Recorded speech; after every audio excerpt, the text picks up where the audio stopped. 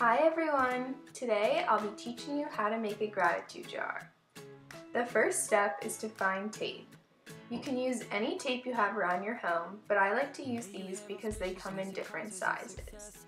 You'll begin by placing the tape on the jar and continue forming geometric shapes with the tape until you are happy with how it looks.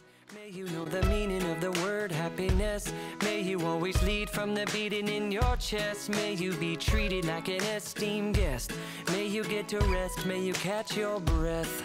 Or may the best of your todays be the worst of your tomorrows. Whoa. Or may the road less paved be the road that you follow. Whoa.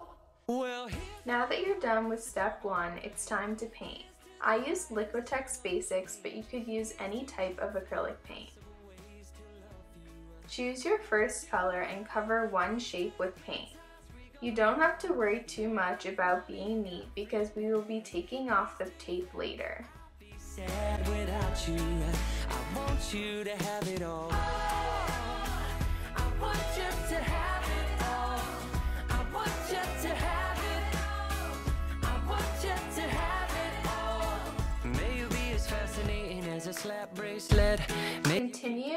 Filling the rest of the shapes with layers of paint until the coat is even and thick. I usually do three coats. May you get a gold star on your next test. May your educated guesses always be correct. Now it's time to add texture. Take a piece of paper towel and crumple it into a ball. Dip it into your paint and start blotting. It's best to use a different color for the texture so that it creates contrast. You can also play around with different strokes and blending. that you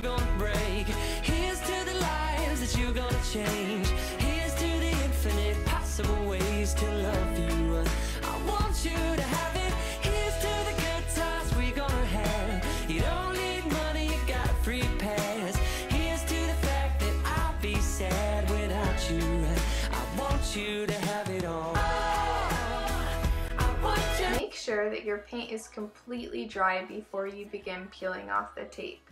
I find that it works best to peel from the top to bottom.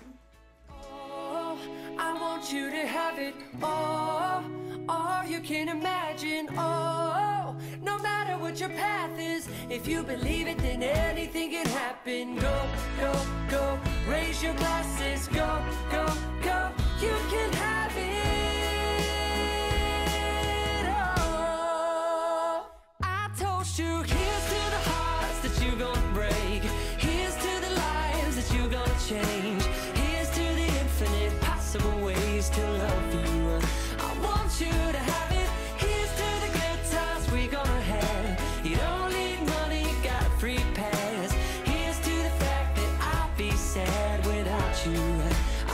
you to have it all. Oh, I want you to have it all.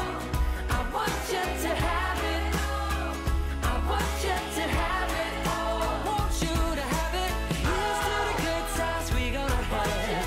Here's to you always making me laugh. Here's to the fact that I'd be sad without you. I want you to have it all.